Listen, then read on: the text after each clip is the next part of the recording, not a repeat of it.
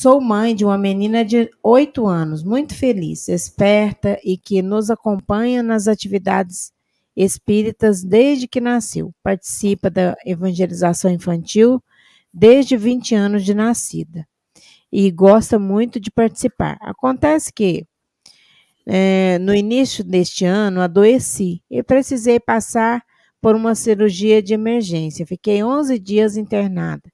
Meu marido me acompanhou e deixamos nossa filha na casa de uma amiga que cuidou muito bem dela. Durante a minha recuperação, meu marido me aplicava passes todas as noites e ela acompanhava tudo. Após um mês, decidimos que não precisaria mais, mas aí ela cismou que ela tinha que substituir o pai na tarefa. Nós achamos bonitinho no início. Ela querer ajudar e deixamos por brincadeira mesmo. Só que agora ela continua com isso. Todas as noites nos horários marcados. Comecei a me preocupar e já falei várias vezes que não precisa mais. Ela fica muito triste e se sente desprezada. Diz que quer ajudar para que eu não fique doente novamente. Acabo cedendo, mas estou muito preocupada com isso. O passe é bem rápido, menos de 10 segundos.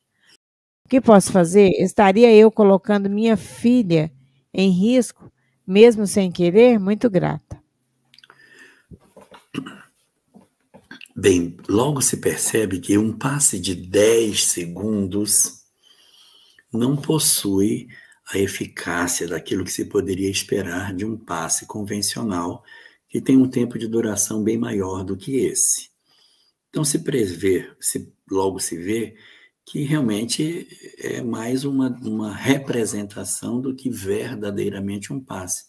Acaba sendo interessante pela demonstração de afeto que a filha demonstra com relação à mãe. Mas o que se esconde por trás desse fato é o medo de a mãe adoecer. É o medo da perda da mãe. Então, é, você colocar para ela que você não está mais doente é muito importante, mostrar que o passe é um remédio, que a gente, que quem toma passe é quem está doente, e a gente não dá remédio para quem não está doente. E aí você pode, sem é, obrigá-la a parar com isso, valorizar outras coisas que ela faça. Em vez de dizer não vai fazer, você dizer assim: você quer ajudar sua mãe a não ficar doente? Então me ajuda na casa, minha filha. Porque quanto mais a mãe se esforça para arrumar, para ajeitar, para fazer, colocar as coisas no lugar, mais ela se cansa e pode adoecer. Então, se você quer uma mãe saudável, vamos fazer o seguinte: me ajuda a arrumar.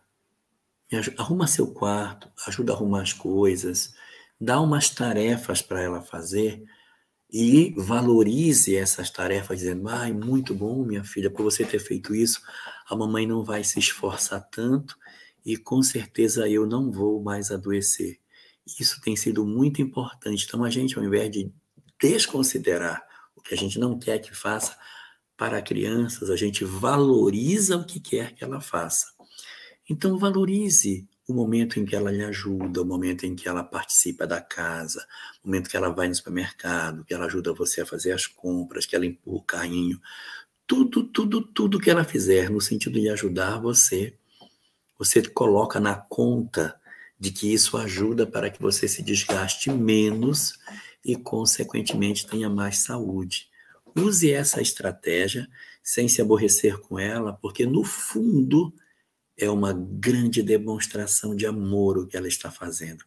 A preocupação de ter a mãe saudável. E isso não pode ser recriminado. Então, ao invés de criticar, a gente valoriza o outro lado para que esse perca um pouco de importância.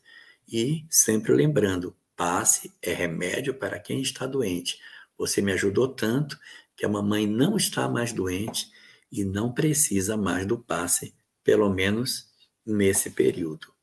Então, aí a gente vai é, fazer a mudança através desse instrumento, ok?